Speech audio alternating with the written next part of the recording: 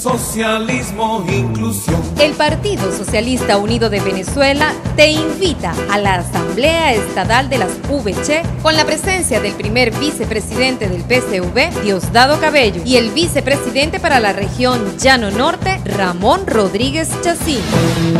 Nació el Partido Socialista Unido de Venezuela, un partido para elevar a su más alta dimensión patria de Bolívar. Este viernes 27 de junio, a partir de las 9 de la mañana, en el gimnasio cubierto Adriano Mancini, en Valle de la Pascua, municipio Leonardo Infante del estado Guárico. Los que quieran patria, vengan conmigo.